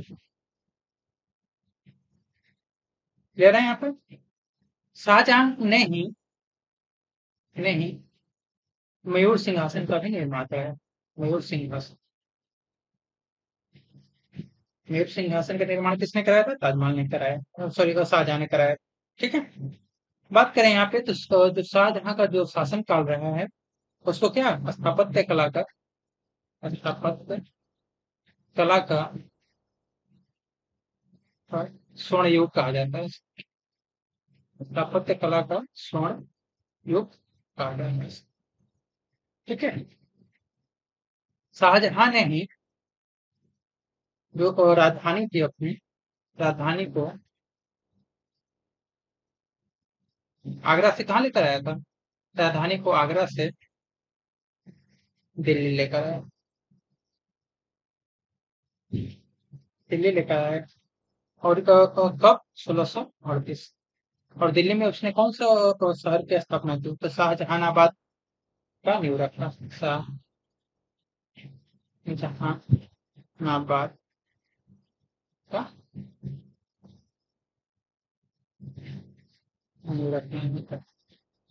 ठीक है। यदि बात करें यहाँ पे तो शाहजहां के, के जो पुत्र थे शाहजहां के जो पुत्र थे, उनके पुत्रों में एक था दारा सिको दारा सिको ठीक है? दारा सिको जो काफ़ी विद्वान है। उसने और उपनिषद जो था, उसका अनुवाद कराया था। उपनिषद जो थे, उनका अनुवाद कराया था। उपनिषदों का अनुवाद कराया किस नाम से? सर ए अकबर। सर ए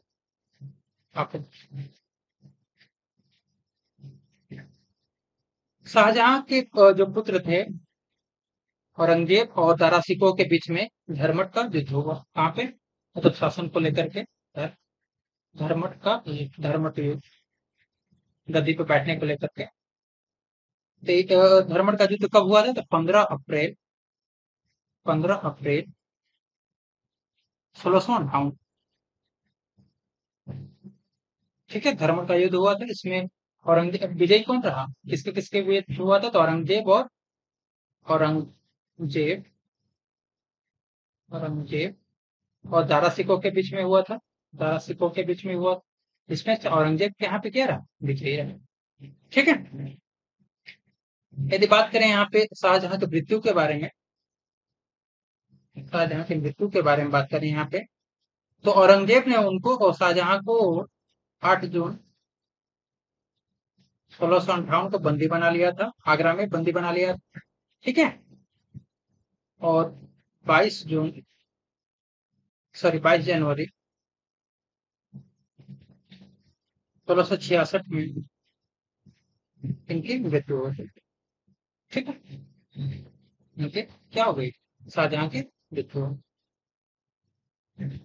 बात करें यहाँ पे औरंगज़ेब के बारे में। ठीक है? तो औरंगज़ेब का जो जन्म था तो 24 अक्टूबर 24 अक्टूबर 1618 को कहाँ पे हुआ था? दोहात। दोहात में जन्म हुआ था। कहाँ पे दोहात? गुजरात। कहाँ पे? गुजरात में। ठीक है? औरंगज़ेब के थे हम गुरु की बात करें तो औरंगज़ेब के जो गुरु थे वो मीर मोहम्मद मीर, मोहम्मद, हकीम। मीर मोहम्मद, हकीम, औरंगज़ेब के गुरु का नाम था, ठीक है? औरंगज़ेब किस धर्म को मानता था? ये सुन्नी धर्म को मानता था। किस धर्म को मानता था? सुन्नी धर्म को मानता था। ठीक है? और इसको क्या कहा जाता था? ज़िंदा पीर भी कहा जाता क्या कहा जाता था औरंगज़ेब को? ज़िंदा पीर ज़िंदा पीर कहा जाता था। क्लियर है? बात कर रहे हैं हम क्यों औरंगज़ेब ने जजिया कर पुनः लगा दिया था। जजिया कर पुनः लगाया था। कब लगाया था? सिक्सटीन सेवेंटी नाइन सोलह सौ उनासी। ठीक है? औरंगज़ेब ने बीबी का मकबरा का निर्माण कराया। बीबी का मकबरा। देवी के मकबरा का निर्माण कराया। कब कराया था इसने? सोलह सौ उन्यासी में। सेवेंटी नाइन और कहाँ पे कराया था? औरंगाबाद। औरंगाबाद। औरंगाबाद। कहाँ पे है? औरंगाबाद, महाराष्ट्र। महाराष्ट्र। क्लियर है? औरंगज़ेब ने जो था बीजापुर बीजापुर और बीजापुर और गोलकुंडा। गोलकुंडा। इन दोनों को अपने मुगल साम्राज्य में मिला लिया था। बीजापुर को कब मिलाया था इसने? सोलह सौ पचासी में। सोलह सौ पचासी में मिला लिया था और गोलकुंडा को सोलह सौ सतासी में।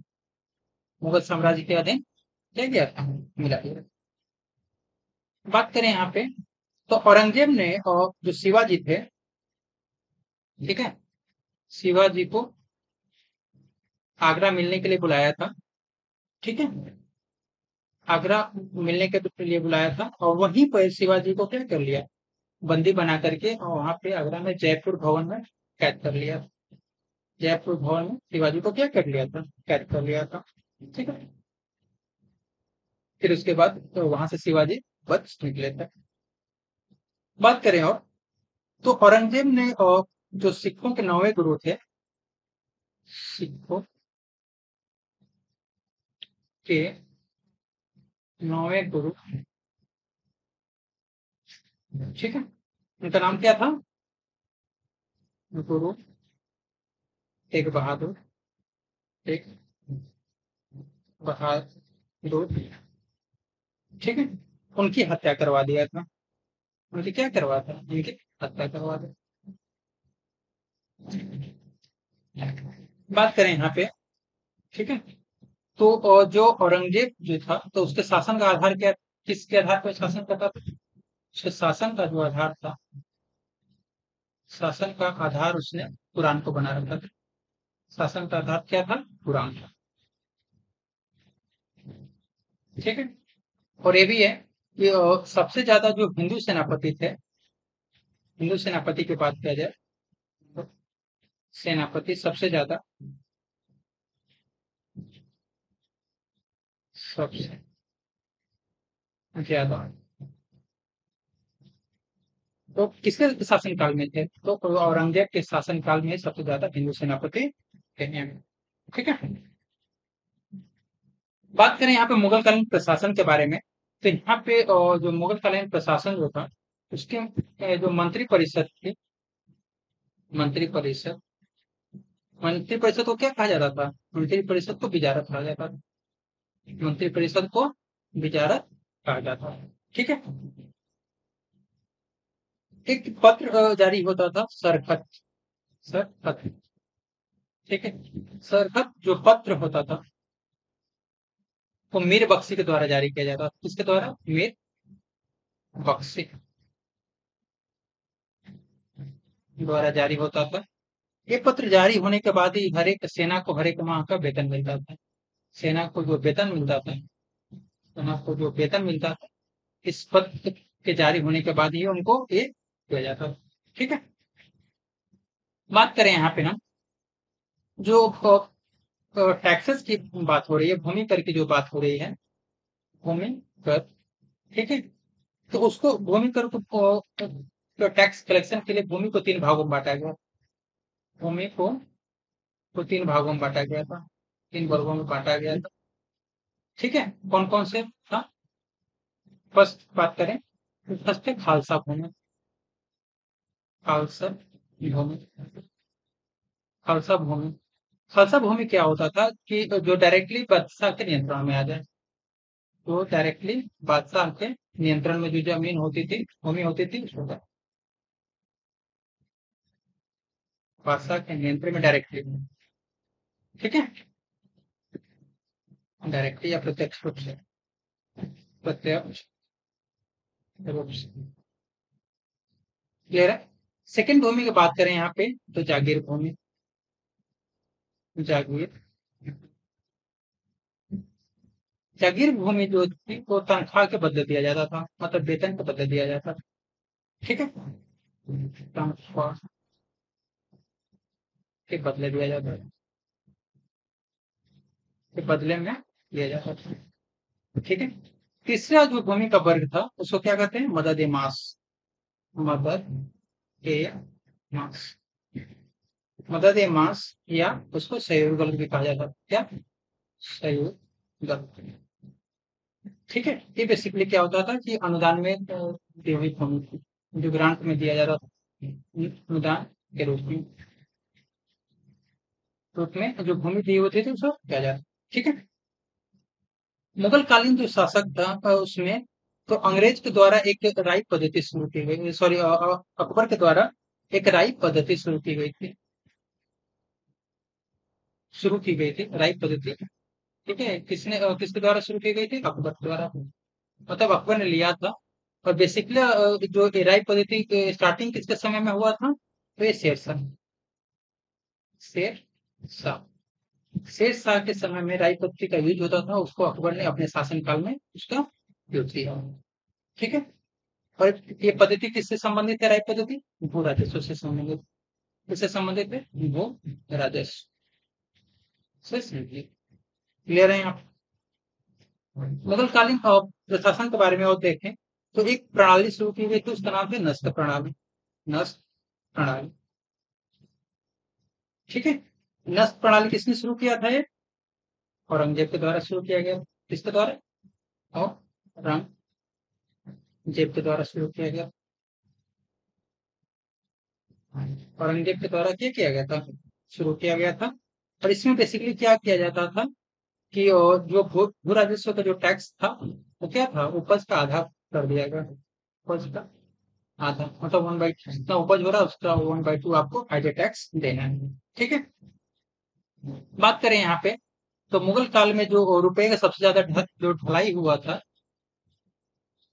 रुपए का जो सबसे ज़्यादा ढलाई हुआ था, किसके समय में हुआ था? वो औरंग, औरंगज़ेब के समय में। ठीक है? और उस समय जो मुगलकालीन अर्थव्यवस्था का जो आधार तक क्या था? तो उसमें चांदी का रुपये का काफ़ी प्रयोग होता था। चांदी का रुपये का जो था, उसका काफ़ी उपयोग होता था। क्लियर है? फिर इसी समय एक प्रथा शुरू हुई थी, और शासन का आधार क्या था? मनसबदारी प्रथा था। मन सब दारी प्रथा। शासन का यह आधार था, मुगल शासन का। मनसबदारी प्रथा किसने किसके समय में हुआ था? तो ये अकबर अकबर के टाइम पर हुआ। क्लियर है? तो ये था मुगलकालीन प्रशासन से संबंधित। नेक्स्ट देखते हैं हम लोग मराठा साम्राज्य के बारे में।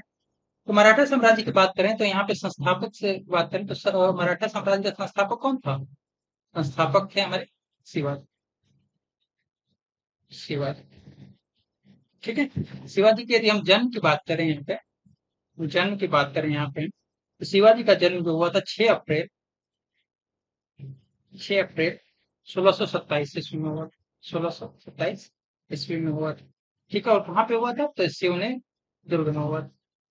शिव ने शिव ने कहाँ पे हुआ था? शिव ने दुर्ग में हुआ था। इनके पिता का नाम, यदि बात करें तो शिवाजी के जो पिता थे, पिता का नाम क्या था? बताइए, शाहजी भोसले। शाह जी, भोसले। शिवाजी के पिता का नाम क्या था? शाहजी भोसले। और इनके माता का नाम क्या था? तो माता का जो नाम था, वो जीजाबाई था। क्या था? जीजाबाई। माता का नाम जीजाबाई था। शिवाजी के जो गुरु थे, गुरु तो शिवाजी के गुरु का नाम था कोंडदेव। क्या नाम था? कौन शिवाजी के गुरु का नाम था कोंडदेव राजधानी की बात करें तो और शिवाजी ने अपनी राजधानी कहाँ बनाई थी? राजधानी इन्होंने कहा बनाई थी? रायगढ़। रायगढ़ को इन्होंने अपने क्या बनाई थी? राजधानी बनाई। और कब बनाई थी? तो सोलह सौ छप्पन ठीक है? शिवाजी को राजा की उपाधि किसने दिया था? शिवाजी को राजा की उपाधि किसने दिया था? तो शिवाजी को राजा की उपाधि औरंगज़ेब ने दिया था। किसने दिया था औरंग जेब में दिया। क्लियर है। ठीक। तो शिवाजी को मारने के लिए जो बीजापुर का सुल्तान था, उसने अपने बीजापुर का जो सुल्तान था, बीजापुर का जो सुल्तान था, उसने अपने सेनापति, उसका नाम था अफजल अफजल खान, को शिवाजी को मारने के लिए भेजा था। लेकिन शिवाजी ने उसकी क्या कर दिया? था की क्या कर दिया था? हत्या कर दिया। हत्या कर दिया। बात करें यहाँ पे तो एक संधि हुई थी, पुरंदर की संधि। पुरंदर पुरंदर की संधि। ठीक है?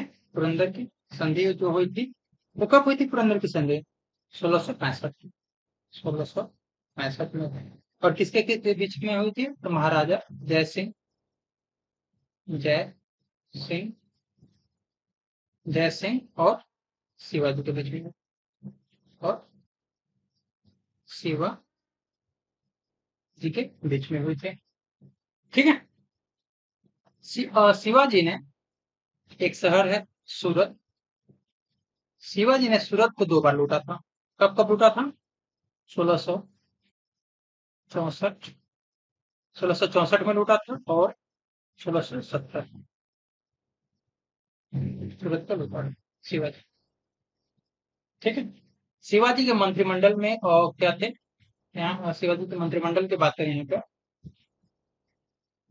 मंत्री। शिवाजी के मंत्रिमंडल को अष्ट प्रधान कहा जाता है। शिवाजी के मंत्रिमंडल को क्या कहा जाता है?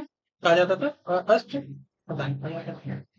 बात करें यहाँ पे कि शिवाजी ने तो, जो तोप था किससे लिया था? तो जो तोप था शिवाजी ने अंग्रेज़ों से प्राप्त किया। अंग्रेज़ों से प्राप्त किया। अंग्रेज़ों ने शिवाजी को भोग दिया ठीक है? मराठों के समय में एक भू राजस्व की प्रथा शुरू हुई थी भू राजस्व कलेक्शन का। तो कौन सी प्रथा था? सर जमी सर, जमी प्रथा शुरू हुआ था। और एक किससे संबंधित था? राजस्व भू राजस्व भू राजस्व ठीक है तो किसके समय में शुरू हुआ था? मराठा साम्राज्य के समय में शुरू हुआ। ठीक है। सो फ्रेंड्स ये था हमारा मेडेवल हिस्ट्री कंप्लीट टॉपिक्स का डिस्कशन हो गया इसमें। यहाँ से लगातार आपके एग्ज़ाम्स में क्वेश्चन पूछे जा रहे हैं, पूछे जाएँगे। तो फ्रेंड्स लग रहा है कि कि आप वीडियो आपके लिए यूजफुल है, आपके एग्ज़ाम्स के लिए यूजफुल है। तो प्लीज़ चैनल को सब्सक्राइब कर दीजिए। ठीक है? सब्सक्राइब कर दीजिए। वीडियो को ज़्यादा से ज़्यादा लाइक कर कीजिए और अपने दोस्तों के साथ शेयर कीजिए। ठीक आपके सक्सेस के लिए good luck thank you There